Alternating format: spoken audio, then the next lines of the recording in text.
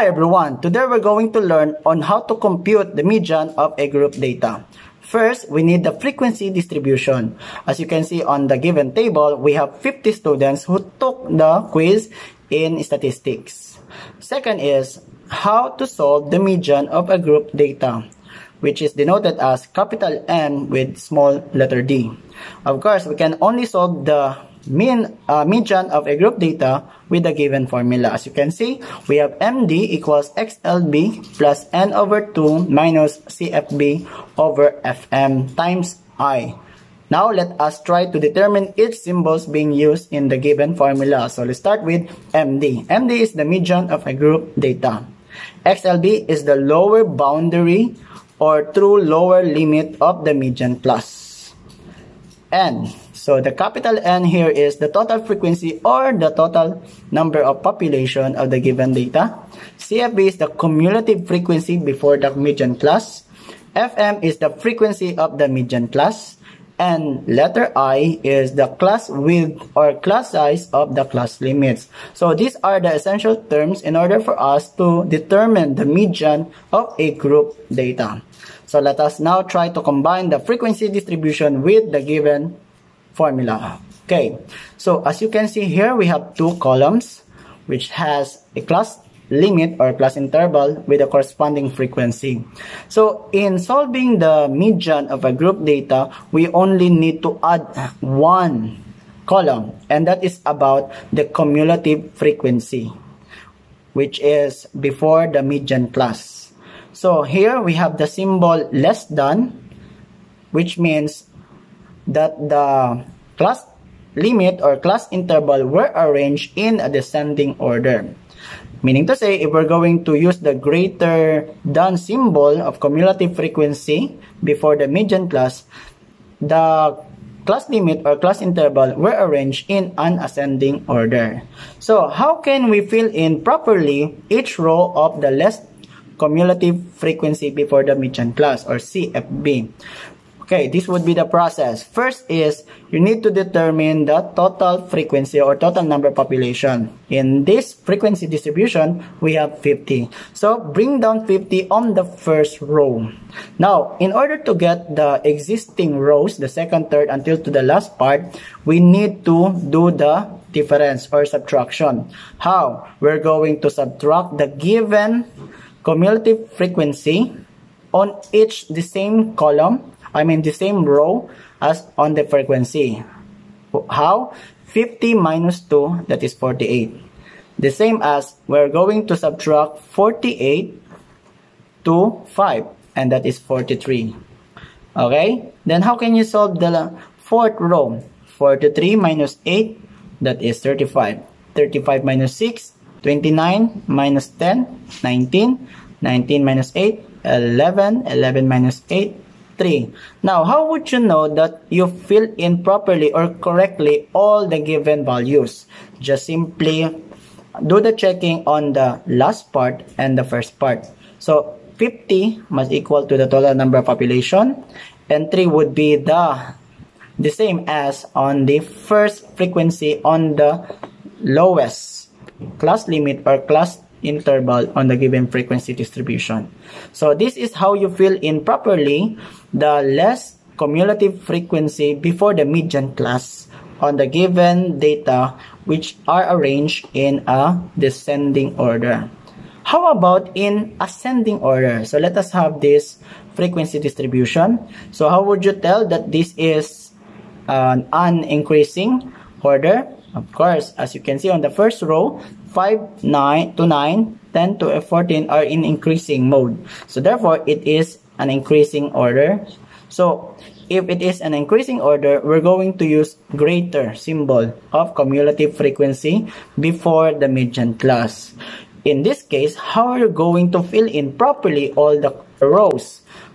So the first row should be the first frequency. And what is the first frequency value? That is 3. So you're going to bring down 3 here. Now, how, how can you tell the next row? So in the less than cumulative frequency, we're going to subtract the frequency on a given row. Here, we're going to add Okay, we're going to add on the next row. That is 3 plus 8, 11, 19, plus 29. We're going to do the same process in order to fill in the remaining rows. So 29 plus 6, 35, 35 plus 8, 43. That is 48 and 50. Okay, this time how we're going to say that we are in the good or correct values for the cumulative frequency. Check the first, it is 3, the same, and 50 must be the end of the cumulative frequency before the median class. So this is how we fill in properly all the values of the cumulative frequency before the median class. Okay, so let us try to compare. As you can see, here is greater, there here is less than or less cumulative frequency. In greater, we're, we're started with the frequency. Then we add the diagonal or the next um, next row to get the other values for the greater cumulative frequency. Here in the less cumulative frequency, we just started with the total number population. Then we're going to subtract it on each the same row of the frequency value. So 50 minus 2, then that's it. 11 minus 8, 3. So these are the two different way to solve the median of a group data. But you can use either of it to get the median of a group data. But this time, I really want to use this right portion. And that is in a descending order. Okay, so what do you think is the main importance of why we are computing the values for the cumulative frequency before the median class? Because this is now the values or the basis for the value of the median class. So how can you tell the values for the median class? First is we need to consider the total number of population over 2 and that is n over 2. Okay, we're going to use this in order to determine the row of the median class. So we know n is 50, then half of it is 25. Now, in the cumulative frequency before median class, there is no 25. So we're going to find the cumulative frequency before the median class which is so close or closer to 25. So let us take the 19. If we're going to use 19, 19 is 6 steps away to 25. But 29 is just 4 steps away to from 25. Therefore, we're going to use the 29 as the uh, cumulative frequency before median class as our row for the median class. Okay, so right now we have the median class. Then, if we're going to have the median class, we can easily determine the FM, and that is the frequency of the median class which is 10. Okay, so here, if we're going to look with the cumulative frequency before the median class CFB, which number is before 29? I mean, before the 2024 class limit or class um, interval. So what value of the CFB which is before the class limit or class interval of 20 to 24? Is it 35 or 19? Okay, it should be 19. Therefore, 19 is our CFB. CF means cumulative frequency before the median class. This is the median class. Okay, the red line. Okay, right now we have the n over 2 we have the FM, we have the CFB. This time, how we're going to get the XLB or the lower boundary or true lower limit of the median class. So when we say lower, it should not be the higher one. So in this class limit or class interval on the given median class, where do you think is the lower value or I mean lower limit, 20 or 24? That is 20. So, we're going to get the XLB by getting the average of the 20 and before the 20 is 19. Okay, so what do you think is the average? 19 plus 20 is 39. Divided by 2, we have what we call 19.50. This time, 19.50 is what we call the XLB or the lower boundary or true lower limit of the given median class. Okay, so how can we solve the I or the class size of class limit or interval or the class width? Okay, earlier I already discussed it to you that in in order for us to get the class size of the class limit, just simply uh, subtract the higher limit to the lower limit in any class limit or class interval of this row.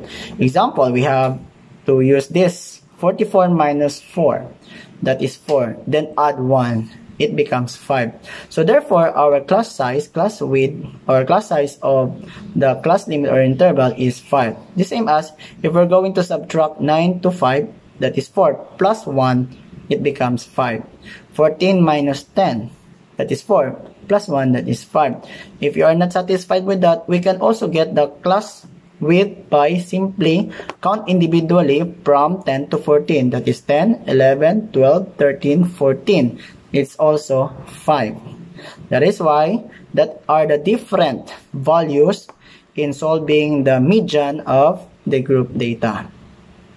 Okay so right now we have here the different values and the same time with the different terms being used in order to solve the median of a group data. Okay, so let us now try to solve it by substitution. We have now the formula MD equals XLB plus N over 2 minus CFB over FM times I. So let us try to substitute it one by one. Let's start with MD.